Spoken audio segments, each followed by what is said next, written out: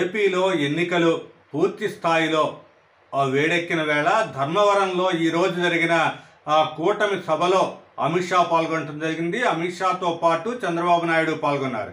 అయితే దీంట్లో ఇంత మటుకు అందరికీ ఉన్న డౌట్ను అయితే అమిత్ షా క్లారిఫై చేయటం జరిగింది. ఎందుకు తెలుగుదేశంతో తాము పొత్తు పెట్టుకున్నాము అనే సంగతిని అయితే పూర్తి స్థాయిలో వివరించడం జరిగింది. ఎందుకంటే ఇప్పటిదాకా కూడా ఈ చిలకలూరుపేటలో ప్రధాని మోడీ సభ అయిన తరువాత మొత్తం కూడా అనుమానాలు. ఎందుకు అంటే జగన్ని ఏమీ అంటలేదు బీజేపీ.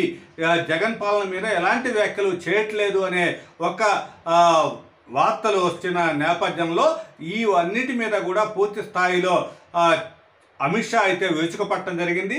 అమిత్ షా అంటే ఒక అవినీతి తర్వాత భూ కబ్జాలు జరుగుతున్నాయి. జగన్ పాలనలో పూర్తి స్థాయిలో అవినీతి ప్రభుత్వం నడుస్తుంది భూ కబ్జాలు ఆ, జరుగుతున్నాయి దౌర్జన్యాలు జరుగుతున్నాయి వీటన్నిటినీ కూడా చరమగీతం పాడటానికే మేము తెలుగుదేశం తర్వాత ఆ, జనసేనతో కూటమిగా ఏర్పడ్డాము అనేది అయితే అది స్పష్టం చేయ मुझे यहाँ आते वक्त दिल्ली के पत्रकारों ने पूछा आप आंध्र प्रदेश में टीडीपी और जनसेना से अलायंस किया है आपके अलायंस का मकसद क्या है उद्देश्य क्या है हम अपराध को आंध्र प्रदेश से एक गुंडागर्दी और अपराध को समाप्त करने के लिए अलायंस किए हैं आंध्र प्रदेश से ये रैम्पर करप्शन को समाप्त करने के लिए अलायंस किया है అయితే ఇప్పటిదాకా కూడా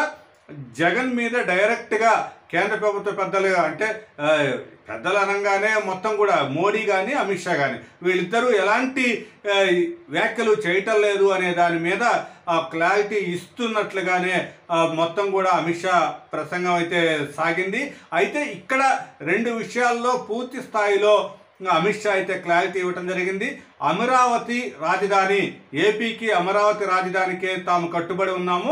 దాన్ని పూర్తి స్థాయిలో మీరు కానీ కూటమిని గెలిపిస్తే పూర్తి స్థాయిలో అమరావతి రాజధాని ఏర్పడుతుంది పునర్నిర్మిస్తాము అనేది అయితే స్పష్టం చేయడం జరిగింది. అదేవిధంగా పోలవరం అంటే ఏపీకి జీవనాడిగా ఉన్న ఆ పోలవరం ప్రాజెక్టు విషయంలో కూడా జగన్ ప్రభుత్వ అవినీతి వల్లే అది ఆలస్యమైంది. కాబట్టి కూటమిని అధికారంలోకి తెస్తే పూర్తి స్థాయిలో రెండు సంవత్సరాల్లో దీన్ని పోలవరాన్ని నిర్మిస్తాము అనేది అయితే చెప్పడం జరిగింది. మొన్న అయితే జ వైసీపీ వాళ్ళు చెప్పింది కానీ జగన్ చెప్పింది కానీ ఐదేళ్ళలో పోలవరం నిర్మిస్తామని చెప్పారు. అయితే కూటమి కానీ చంద్రబాబుని కూటమిని మొత్తం కూడా అధికారంలోకి తీసుకొస్తే ఏపీలో ఆ కూటమి అధికారం వచ్చినట్లయితే దాంట్లో పోలవరాన్ని రెండు సంవత్సరాల లోపల పూర్తి చేస్తామనేది అయితే స్పష్టంగా చెప్పడం జరిగింది. అదేవిధంగా అయితే ఒకటి మాత్రం అమిత్ షా మాట్లాడిన దాంట్లో ఒకదాన్ని అయితే ఒక తేలిగ్గా తీసుకోవచ్చు. ఎందుకంటే ఈ తెలుగు భాషని పూర్తి స్థాయిలో పతనం చేస్తున్నాడు జగను. ఇంగ్లీష్ మీడియాన్ని తీసుకొస్తున్నాడు. జ- బీజేపీ ఉన్నంత మటుకు కూడా తెలుగు భాషకి ఎలాంటి నష్టం వాటిల్లదు అనే వ్యాఖ్యలు అయితే కొంత వెగటగా అనిపించాయి. ఏదేమైనా సరే మళ్ళీ తిరుపతి అంటే తిరుమల ఒక ప్రతిష్టని దిగజారుస్తున్నాడు. అందుకోసం కూడా ఆ ప్రతిష్టని కాపాడటం కోసం కూడా తాము మొత్తం తెలుగుదేశంతో పూర్తి స్థాయిలో